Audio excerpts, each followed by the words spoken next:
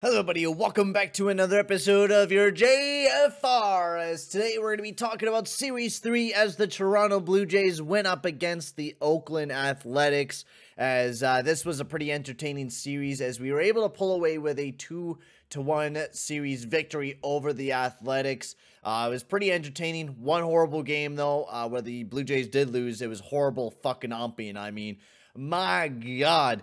What, what were the umps on? Were they on like some ketamine or like what the fuck were they on? Like I don't know, man. Like their balls, like their strikes that they were calling, like should have been balls. Like I, I don't know, man. They were horrible throughout the entire night and just very very bad. I, I cannot believe, and probably the main reason why we did lose this game because honestly, a lot of the strikes that or a lot of the strikes that you know were called should have been balls, but you know because you know G- Jr. I mean, the guy got like striked out massively by the fact that it was just way outside. It was all the way in outer space. Should have been a ball, but it was a strike. I, I don't know how. Even Charlie Montoyo got kicked out of this game. It was it was crazy.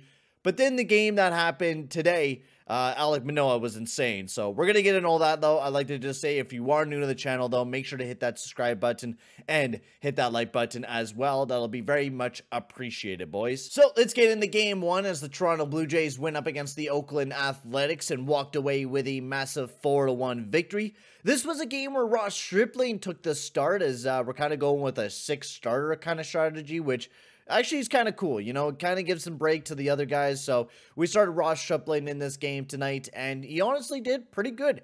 Four innings, he only gave up two hits, three strikeouts. He was really good. He kind of um, got a lot of, he threw a lot of pitches to start off the game, too. It seemed like a lot of the Oakland Athletics were fighting off tough pitches, fouling off a lot of balls, and sometimes even getting on base. But we did a pretty good job of, you know, maintaining it and, you know, smacking dingers as well as we'll get into that summary of this game. So Guerrero Jr. homered his fifth home run of the season as this one was a solo home run to put up the Blue Jays 1 nothing to start the game off. And what a starting, excuse me, what a game, what a start it was for the Blue Jays as Guerrero Jr. was able to launch a 428 foot bomb out of the park here for the Toronto Blue Jays to put us up 1 0. And then Espinal doubles on a sharp ground ball as uh, Raimel Tapia was able to score from first. He had some super speed as uh, that was a big one to put us up 2 0. And then right after that, Pinder was able to get a nice ground ball up at the top of the sixth on uh, Adam Cimber as he was able to get Tony Kemp to score in from second there to make it a pretty close game, two to one. And then Zach Collins scored in uh, Lourdes Gurriel Jr. on a nice single. And then Lourdes Gurriel Jr. finished it off the game, getting a nice double to put the Blue Jays up four to one and getting a nice W over the Oakland Athletics. As this was a pretty good game. Do not know why they took out Tapia. I know they put in Kirk because it was a good matchup against one of the guys. I think it was either Jackson or Kolarek or whatever it may have been. Um, they put they put in Kirk uh, instead of having Tapia, But even though Tapia was having a really good night, he was two for two on the night. Uh, he uh, was just he had he he was one of the guys that cashed in that run or you know ran in to get that run. Uh, was by a nice you know hit by I think it was Espinal. Yes, the double by Espinal. Um, but I'm not too sure why they took out and put in Kirk. I know Kirk has been kind of struggling to start off the season. Uh, he hasn't been able to get contact, and maybe that will come with time. But Kirk was, you know, Captain Kirk last year. He was that guy that, you know, put up some big dingers last year, eight home runs, an average of 242. He's off to a little bit of a slow start this year. So we'll have to see if he's able to, you know, get back into that form. And I think even like Buck Martinez and shout out to my man Buck Martinez. I hope he's doing all right and is able to pull through with cancer. As you guys don't know, um, the last game that happened uh, just yesterday, um, he unfortunately has cancer and he'll be taking a leave from doing the Blue Jays games, which is very, very saddening. And I hope uh, Buck will be able to make it through it. And you got this, buddy. Fucking beat the shit out of that cancer, buddy. Um, but moving forward, uh, the pitching staff for the Toronto Blue Jays had a really good night. Tim Mayza was the only guy that gave up an earned run, uh, and he did really good. Cimber had a good night. Garcia had a good night. Richards, our starting pitcher, and Stripling. Romano even got his fifth save of the, the year as well. He looked really good as well. So what a great start to the series. We pick up a big victory, but then once again, we take another loss as we keep winning and losing, winning and lo- losing. Uh, but we get a big W over the Oakland Athletics, uh, or a big loss as we lose seven to five. Uh, Ryu was in this game. rough game for Ryu. He really did not have the strongest night in the world. And I think that's a big note to talk about that Ryu had a bit of a rough night here for the Toronto Blue Jays, giving up five earned runs and four innings of work, also giving up six hits and a big dinger, uh, which we'll be getting into talking about the summary of this game as uh, the bottom of the first, uh, Guerrero Jr. Uh, reaches on a uh, fielder's choice, uh, letting uh, you know Raimel Tapia score once again. He he has major speed uh, as uh, Tapia was on third there and was able to score him to get a nice ribby to put us up one nothing to start off the game, and then you know the belting started happening from the Athletics as the top of the second, Sheldon Neuse singles on a ground ball, letting Sean Murphy scores and getting Neuse to second as well. Uh, and then moving forward, then Kevin Smith doubles uh, with a sharp fly ball to left field, getting Neuse to score. And then uh, Bethancourt, he's uh, he hits a ground rule double, which then lets Kevin Smith score. And then Sean Murphy in the top of the third gets a big old two run home run to put up the Athletics up five to one.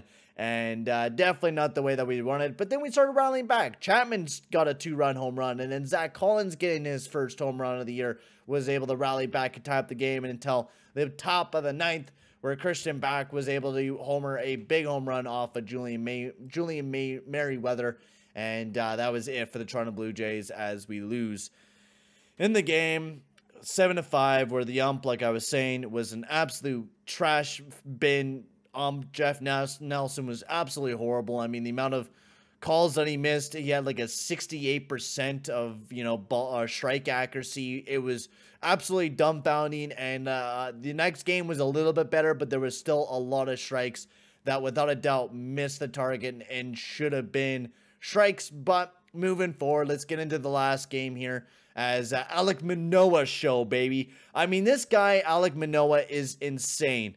Uh, the guy's pitch, the guy's delivery, his his slider, just every pitch that Alek Manoah has is fucking nasty, man. You watch the movement of these pitches where it's like, it looks like it's going to be in the strike zone and then it just drops like a bullet, just drops like a nuke. And you're like, what? Like, how does this guy do that type of movement is just beyond me. And Alek Manoah just had a beautiful night. Six innings of work, only gave up two earned runs, six strikeouts, was absolutely amazing for the Toronto Blue Jays as, you know, we walked away with a 4 to, uh, 4 to 3 victory defeating the A's in this series. But let's get into the scoring as give huge props to George Springer running this one out. I think this was Bo Bichette who hit a nice one getting George Springer to second, but then Lourdes Gurriel Jr. Uh, with a sacrifice fly was able to get George Springer to score and putting us up one nothing to begin the game. And then Espinal singles getting Zach Collins to score from second as well, so that puts us up two to nothing there at the bottom of the second. And in the bottom of the third, Matt Chapman with a, a, nice single sharp line drive, is able to get Lourdes Gurriel Jr. to score as well, putting us up 3 to nothing. And the only fuck up that Manoah had was letting Stephen Vogt homer as he kind of laid it over the top of the plate, and Vogt just took it right out of the park. I mean, even Vogt was surprised that he was able to get a big home run on Alek Manoah, who was looking amazing throughout the night. Um, and then the last score was Matt Chapman, who reached on a fielder's choice uh, and it was, of course, a big error by Kevin Smith. I think he threw it over the first baseman or something like that happened, but we were able to walk away with a 4 to 3 victory over the Oakland Athletics. Um, like I was saying, Manoah played amazing. Our bullpen had a really good night, too. Cimber did really well. Romano had his sixth save of the season as well. Uh, we didn't have to even use very much of our bullpen, even though we had a lot of guys that were well rested and ready to go, especially since we have a break day as well on Monday. Uh, so, you know, we're able to take a little bit of a break day. But honestly, the bats, they weren't, you know, swinging big time. We weren't able to get any home runs. Vladimir Guerrero Jr. was quiet throughout the night, but Bichette, uh, he's been a quiet guy over the since the begin, uh, since the start of the season. He's only had 10 hits at 45 at bats. He has an average of 222. He's been a little slow, uh, slow to start, but expect Bo Bichette to start picking it up. He was looking like he was starting to pick up a little bit of that, you know, that swing, starting to get that energy back underneath of him. So I think we're going to start seeing a little bit more out of Bo Bichette. But Gurriel Jr. had a really good night. Same with Matty Chapman. He had a big home run. Uh, and Zach Collins just continues to play amazing for the Blue Jays as uh, he has uh, another amazing night. 375 average. I mean, he's just been a really hot bat for the Toronto Blue Jays since we put him into the lineup. But that's it for the JFR, guys. Second time recording this guy because, you know, I forgot to press the record button. Uh, but finally, we got it done. So thank you very much for watching. Next series, the Toronto Blue Jays are going up against is the Boston Red Sox. So it should be a pretty exciting series as Yusei Kikuchi will be starting for the Toronto Blue Jays. So we'll have to see how well he does in his second outing against the Red Sox. But for now, guys, I'm going to end the video here. Thank you very much for watching, and I'll see you guys all in the next one. Adios, amigos.